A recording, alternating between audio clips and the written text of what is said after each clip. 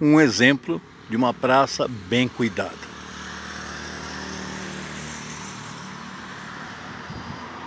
Olha o gramado. Perfeito.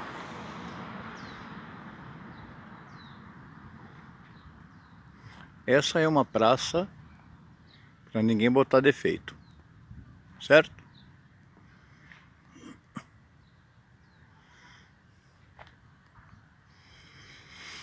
Essa sombra projetada dessa árvore é uma saboneteira. Então eu estou perguntando se alguém conhece o sabão de soldado. É uma árvore nativa, família sapindácea, né? Aliás, a família já é tirada dessa planta, porque essa árvore se chama Sapindus saponária. Okay? Sabão de soldado. As sapindáceas, exemplos de sapindáceas, Guaraná, Lixia, Pitomba, uh, que mais? Aquela, aquela fruta exótica toda peludinha. E tem bastante cipó também, que mata peixe, ok? Uh, sabe, quando a gente está gravando, parece que a mente divide em duas partes e a gente não lembra dos nomes, pelo menos comigo é assim. Aí eu chego em casa, eu lembro tudo que eu queria falar. Então o Guaraná é da família das sapindáceas, beleza? São cipós e são árvores.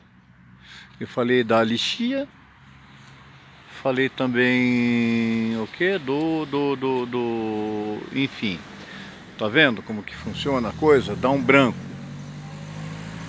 Mas, como o foco é a sapim do saponário, o sabão de soldado, olha que árvore bonita, ela fica grande, hein? Eu tenho uns exemplares bem grandes mais adiante, assim, árvore alta de 20 metros. Aqui está um lindo exemplar nessa belezura de pracinha, né? Pegar a árvore inteira, gente. Pra você ter uma ideia. De... Ó, aqui, pronto. Qual é o motivo de chamar sabão de soldado ou saboneteira? Vamos lá.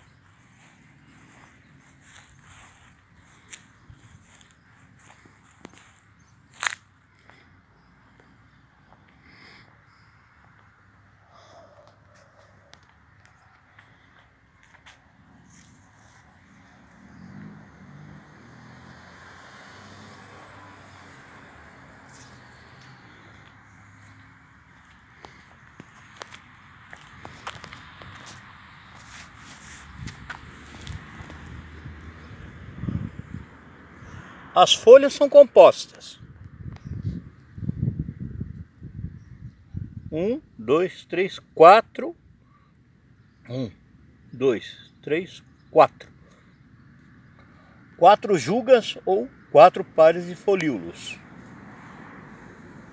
Os frutos são esses, já estão meio sequinhos. Olha que bonitas as sementes, pretinhas. Esse fruto produz, quando está bem maduro e ainda fresco, uma substância saponífera que dá para lavar roupa, ok? Você dissolve esses frutos na água, faz uma água é, de sabão e é usado como um, um sabão natural. É por isso que se chama saponária, não é? Sapindus saponária, aquilo que produz o sabão.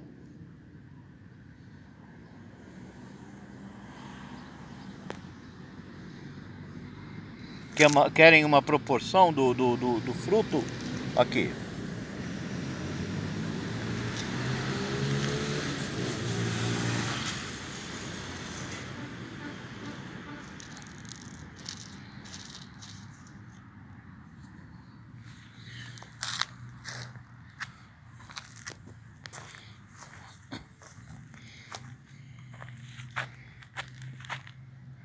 É uma árvore jovem não mais que 30 centímetros de DAP, ok? Mas chega a 80, 90 de DAP.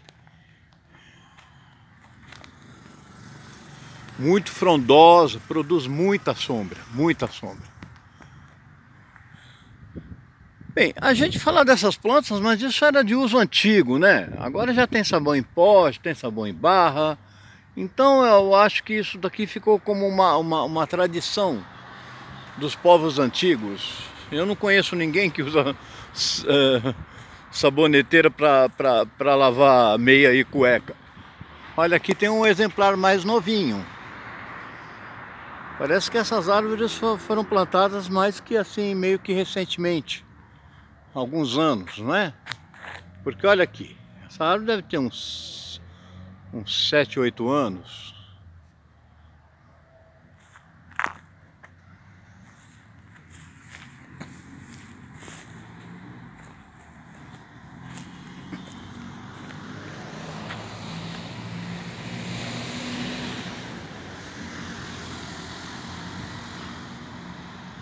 É uma praça, assim, bastante, vamos dizer, clean, não?